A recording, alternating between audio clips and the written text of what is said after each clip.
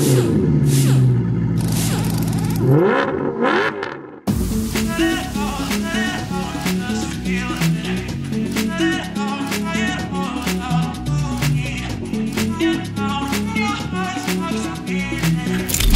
guys, welcome back to another episode on German Motors and Engineering. Today I would like to tell you a tale. Once we had a customer who came to us and he already bought a lot of cars from us and maybe you remember this, uh, the Jeep Grand Cherokee from the JP video. This is also one of his cars and in the meantime he became a friend of mine. And he said, hey Rene, I want a Mustang GT500 but I want a convertible. I don't want a coupe, I want a convertible. Can you can we cut uh, the roof away somehow and make a convertible from it? And yeah, we did not think a lot of time about that idea because that's not possible. When you have a, a, a coupe and you cut away the roof, then um, all the stability from the chassis is away and when you imagine you, you have uh, a box and you open uh, and you cut the roof of that box away, then it's very very easy to uh, to bend that that box because it's no box uh, anymore. And this is the concept. Um, of normal uh, passenger cars with with, uh, with with those with their chassis, they only work as a whole, and you cannot cut away um, structure because this would lead into yeah into nothing. And convertibles, when they come from the manufacturer, they have a completely different uh, structure in the in the in the bottom. They have much more steel, which uh, yeah makes them um, rigid enough, even though they have no roof. And therefore, the idea was buying um, a chassis from a convertible and convert it into a GT500. This was a way that is possible. So we sit down and we uh, did some, some animations and uh, worked out the whole concept. He said he, would, he, he wants it in white with all the uh, GT500 exterior and of course uh, the power, but he wanted other wheels which are better looking and I said where yeah when we are making some wheels for you why also not uh, doing some better brakes instead of using this, uh, the standard brakes. So the result was a GT500 convertible, which is even better than a GT500 from the factory. And here it is.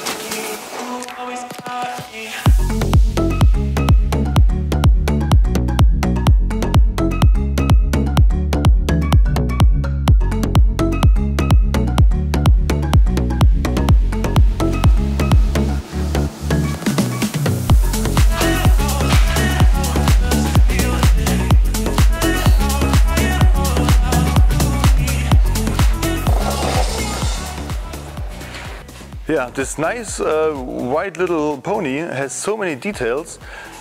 Yeah, I don't really know where to start. So let's try to find a red line and then uh, work from yeah from the from the front to the back or from the power uh, to the aerodynamics or whatever.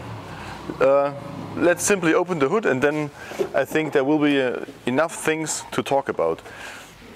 Um, yeah, the most or the heart of the of the car is always the engine. So we have a 5-liter Coyote engine, and we boosted it to 750 horsepower because this was the goal. We would like to have a GT500 convertible, and the power from the GT500 is uh, the key. Uh, where everything begins. So we choose an Edelbrock supercharger with internals which have 2650 cc displacement and this Roots uh, supercharger moves the air to the engine without having this, uh, yeah, this, this typical uh, screw type supercharger sound. It is very quiet. You can hear it a little bit, but the customer does not want to have such a loud supercharger noise. He wants it to be powerful and he would like to hear more the exhaust and not uh, the supercharger. Therefore, this type of uh, supercharger was, yeah, the one that we choose for him, and we equipped it with that big cold air in, uh, intake box, which breathes the air from here and does not breathe hot air, it breathes cold air, and cold air is very important. As important as cold oil.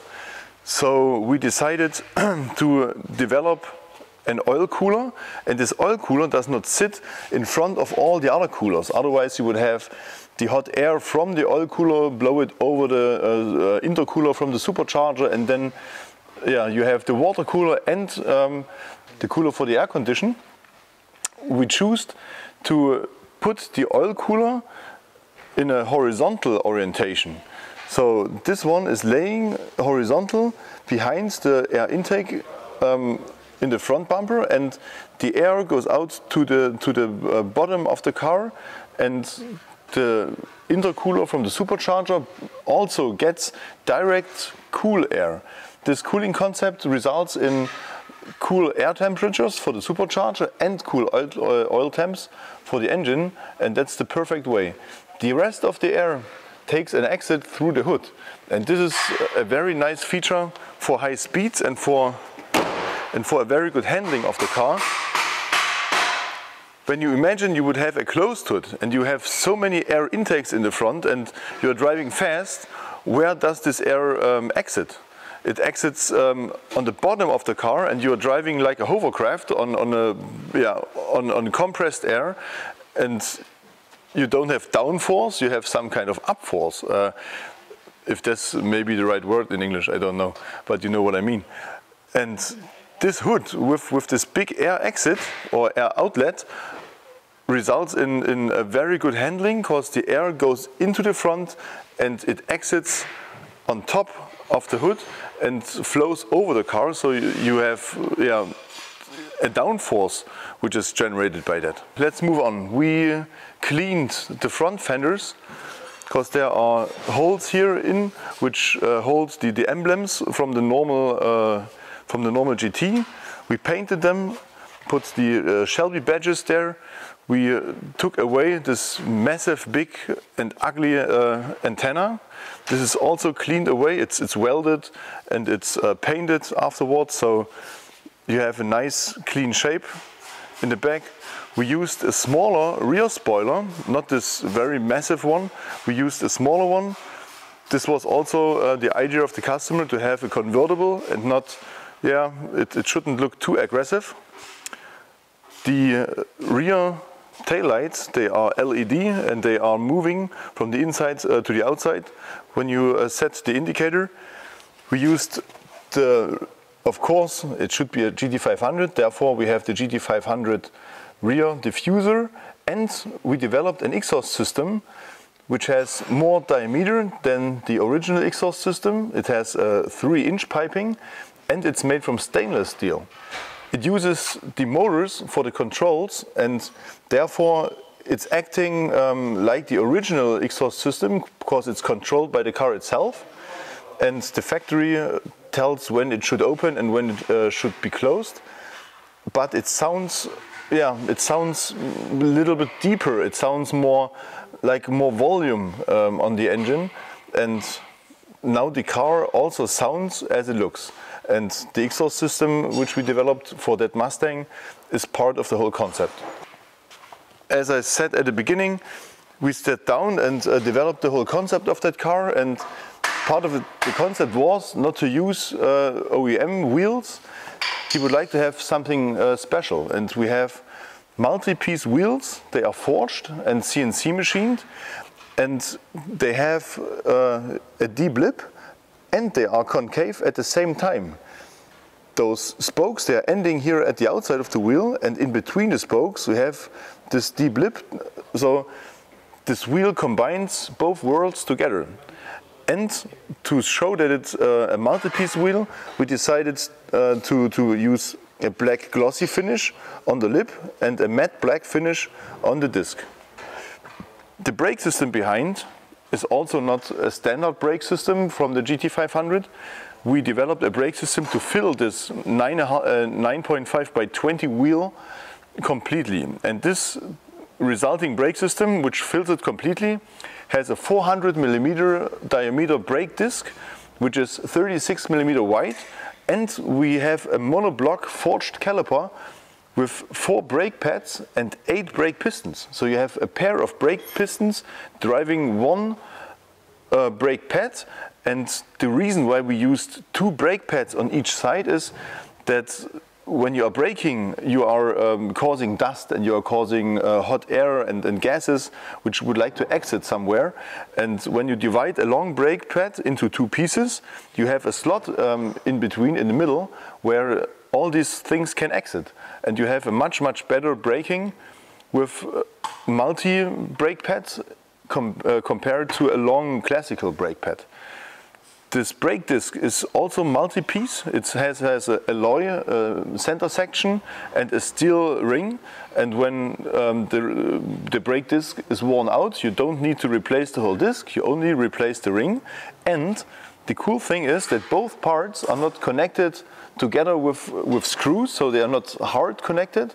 They have a floating connection. You have slots which uh, point to, to the inside um, of the brake disc and in these slots there are sitting some, some um, metal blocks and when the outside uh, part, when, when the ring is heating up, the ring can expand and when it cools down it can shrink again and then you have two parts. The middle section nearly um, keeps its temperature because it's uh, directly connected to the wheel and to the axle. So it has parts where it can uh, um, yeah, give away the heat and this outside part where you, you, where you are braking and friction causes heat, this one heats up as well as the brake as the brake pads, and it can freely expand and uh, shrink. So you have never the problem that you have a shaking steering wheel. We can use different brake pads, some for racing or for, for different purposes. And the, the brake pad which we use here is more for street application, so you don't have um, a noisy brake, which is caused by uh, the, the, the uh, yeah, the high friction rate of racing brake pads. Because with a high friction rate, you need only a little bit uh, pedal pressure to cause high brake forces, and with a little bit um, pedal pressure, the whole system is not compressed very much and uh, all the parts can move and when they are moving then they have this, this uh, little tiny vibration which you can hear as a creaking noise uh, from the brake. So we have less, we have brake pads with, with, a good friction rate, but not too much to have enough compression uh, which is not causing any brake noise. On the rear, the wheels are even wider. They are 11 inch wide and they fill the whole, uh, the whole uh, wheelhouse in the back.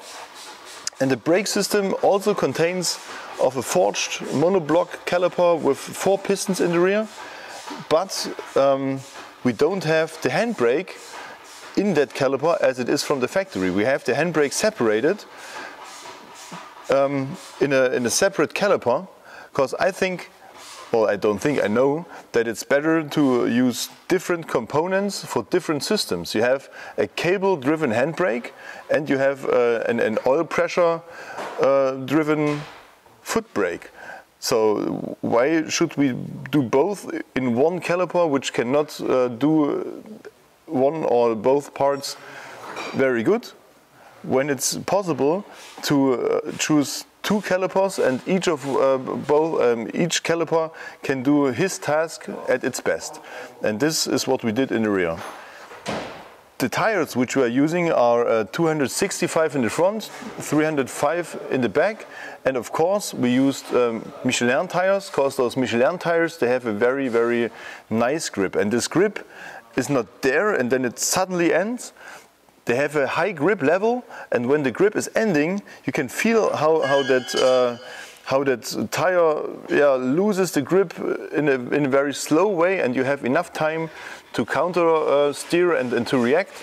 And not only you, also all the systems in the car which keep it on the road have more room to, to, to do their job. So the tire is the only connection between you, your car and the ground. And in my eyes, at the moment, Michelin is doing the best ones. And yeah, so our customer gets only the best and therefore the Michelin tires. Finally, the interior we have this white, black and red concept and we transported it uh, to the inside of the car. We used this airbag with the Shelby badge and a steering wheel uh, with carbon and with a better shape so you have a better feel when you are um, driving the car and those um, yeah, red applications yeah it, shows that black, red and white is the concept of this car. We adjusted all the lights in red and when you're driving um, at night you will see how, how very nice that looks. But I think that's enough theory. Let's take it out to the road.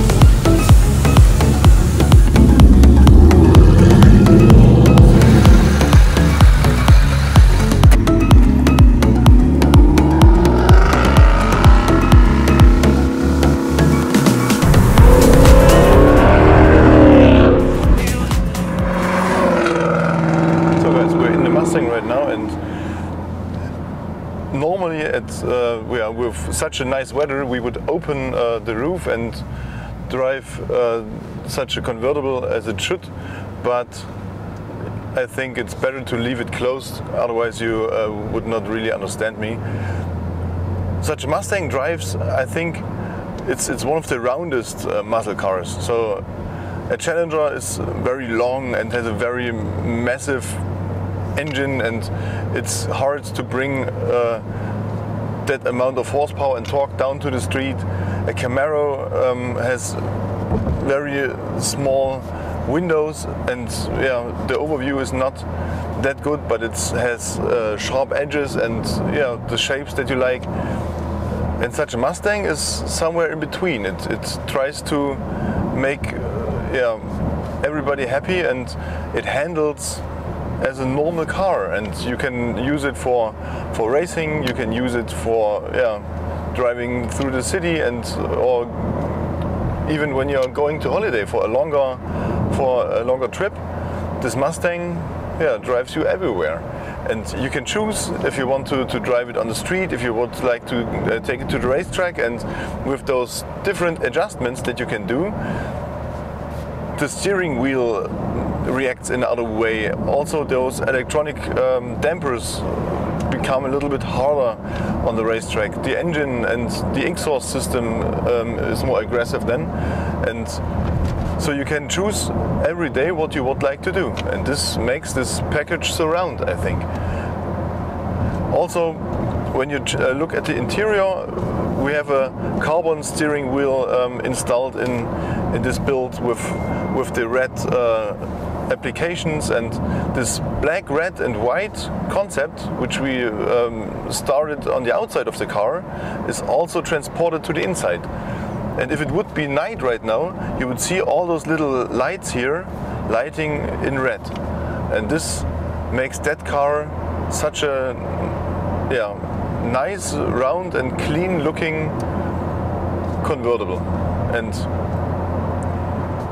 if you also have a Mustang or if you would like to have the whole package from us, the car and uh, those modifications, then call us, visit us, or if you have already have a Mustang and would like us to build it according to your specifications, or if you would have, if you have your own um, your own project and you need somebody to make that project happen, then I think that's a task um, for us.